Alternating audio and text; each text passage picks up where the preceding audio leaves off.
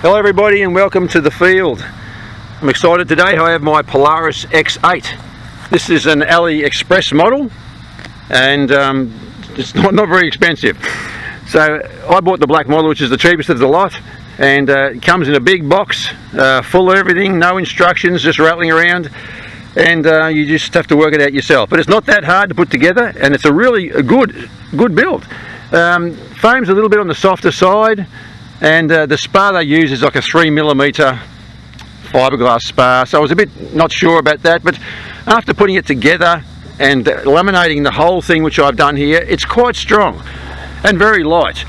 Uh, my flying weight here is three 570 grams flying weight and I'm using a 2200 3S in the nose heaps and heaps of room there as you can see. So you can carry bigger or smaller batteries to balance out pretty well. Now this tail section's, oh, I think it's a work of art. Just comes together really well. Everything sits in there perfectly.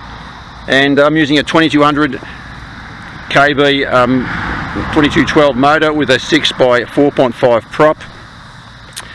Uh, all that fits in there really nice and snug. Um, it's a tight setup there, a lot of wiring comes down this loom. It's a very stressed section there, so it's, it's well and truly glued in and it's solid.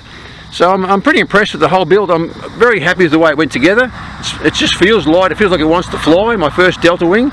So today's maiden day. So let's see how we go with a slight breeze today and I'll get back to you with the maiden flight.